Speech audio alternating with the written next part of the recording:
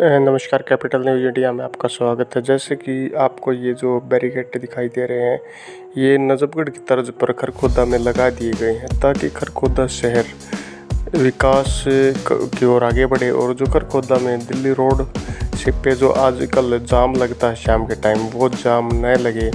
इसके लिए नजफगढ़ को देखते हुए, नजफगढ़ की तर्ज पर नगर पालिका खरखोदा ने इन को लगाने का काम किया है और ये मुख्य जो एन एच तीन सौ चौंतीस बी है, उससे लेकर शहर की ओर तक आगे की तरफ़ ये लगातार लगाए गए हैं और बीच बीच में इन पर कट भी दिए गए हैं ताकि किसी को अगर टर्न गाड़ी लेनी पड़े तो वह इनके माध्यम से आसानी से गाड़ी को दूसरी जगह पर मोड़ सकता है। आप देख सकते हैं कि ये शानदार भारी भरकम पत्थर लगाने का काम पिछले दिनों से चल रहा है और इन पत्थरों को पूरी तरह से तो नहीं कह सकते, लेकिन काफ़ी हद तक वो काम कर लिया गया है। जगह जगह पर आपके लिए देख सकते हैं कि यहाँ पर आने जाने वालों के लिए रास्ता छोड़ा गया है, ताकि आसानी से गाड़ियों को घुमा सकें। और जैसे कई बार क्या होता है, जाम लगने के कारण वाहनों को दूसरे साइड से, अपोजिट साइड से घुसाकर आगे की ओर ले जाना, ये एक काम यहाँ करकोदा में काफ़ी समय से देखने को मिला था, जिससे प्रशासन ने मुख्य दिल्ली रोड पर इन पत्थरों को सबसे सर्वप्रथम लगाने का काम किया गया। और इसके बाद आपको यह भी हम बता दें कि इन पत्थरों को कई जगह पर लगाया गया है, जैसे दिल्ली रोड और जो बस स्टैंड है उसके पास वाले रोड पर। और खरखोदा के मुख्य मुख्य क्षेत्रों में इनको आगे तक भी लगाया जाएगा, ये प्रशासन ने बताया है। अब आप देख सकते हैं कि किस तरह एक लंबे जगह पर पूरा, कई किलोमीटर के कट पर पूरे पर पत्थरों को लगाया गया है, ताकि कोई दूसरी तरफ़ से आने वाला वाहन जाम न लगाए।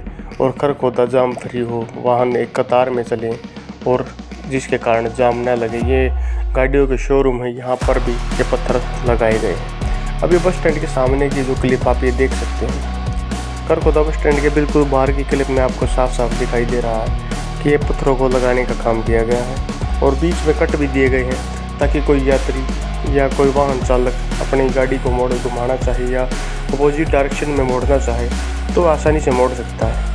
आप देख सकते हैं, ये पंप बस स्टैंड के बिल्कुल सामने का नज़ारा है और पंप तक और करकोदा की जो कोर्ट है, उन, वहाँ तक इनको लगाया गया है। अब इसके बाद आपको क्लिप के माध्यम से यह भी पता लग गया होगा कि इस, यह नजफगढ़ को की हुबहू देख कर लगाया गया है।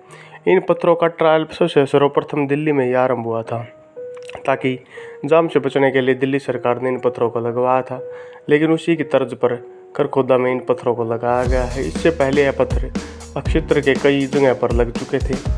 लेकिन जैसे जैसे करखोदा क्षेत्र में भीड़ बढ़ रही है और मारुति आने की संभावना जैसे करखोदा में बढ़ गई है, उसके बाद से इन पत्थरों को लगाने का काम कर दिया गया।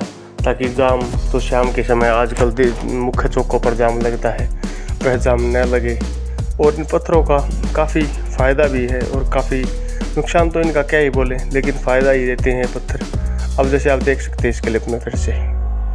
ऐसे ऐसे, पता नहीं कितने पत्थर जो क्रेन के माध्यम से लगाए गए। और इनका काम पिछले चार पाँच दिन से चल रहा था।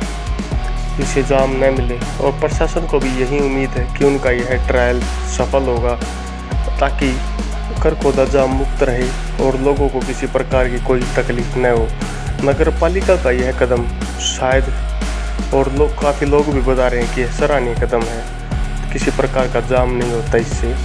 और जैसे आप देख सकते हैं, इन पत्तों का भी कुछ शाइट नहीं किया गया अच्छी तरह, लेकिन कई जगह पर कर भी दिया गया कुछ साइज़ का और डिफरेंट साइज़ में आप ऐसी ऐसी क्लिप देखने के लिए हमारे चैनल को लाइक करें शेयर करें सब्सक्राइब करें।